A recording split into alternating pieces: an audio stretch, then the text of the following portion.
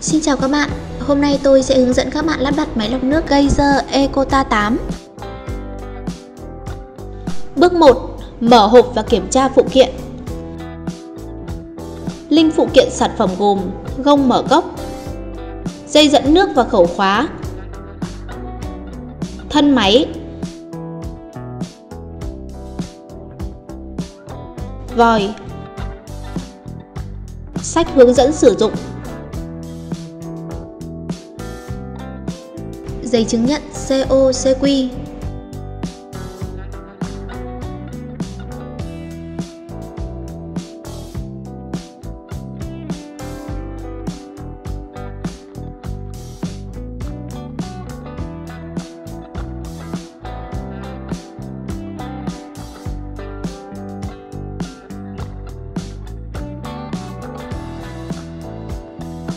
Bước 2. Nếu nhà bạn chưa có lỗ vắt vòi nước thì sẽ thực hiện việc khoan một lỗ vắt vòi cho máy tại gần chậu. Bước 3. Lắp vòi nước Chúng ta tiến hành lắp linh kiện kết nối với vòi và thực hiện lắp vòi nước.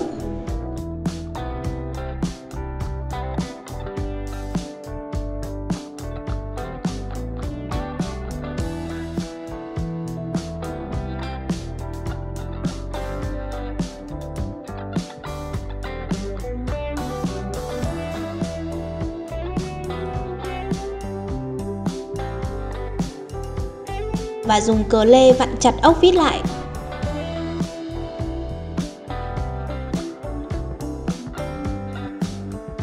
Bước 4. Thực hiện nối khẩu khóa chia nước với đầu nước vào và dùng cờ lê vặn chặt ốc vít lại.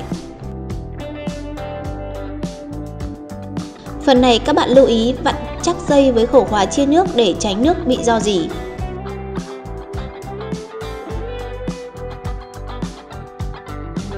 5. Thực hiện tháo đầu bịt hút chân không để nối dây dẫn nước.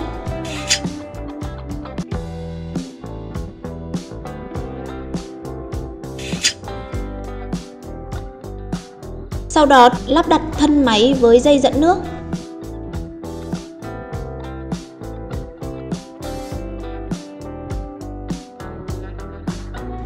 Bước 6. Mở khẩu khóa chia nước và xả nước.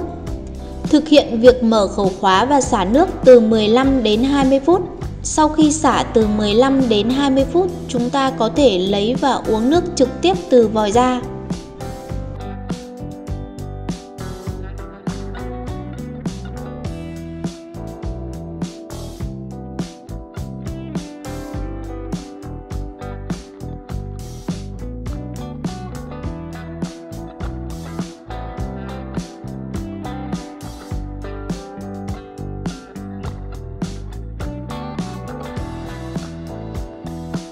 Những lưu ý cần thiết khi tự lắp đặt máy lọc nước Nano Geyser tại nhà Lần đầu sử dụng máy lọc nước Nano Geyser, hãy mở nước cho chảy đến khi nước trong hoàn toàn, sau 15 đến 20 phút.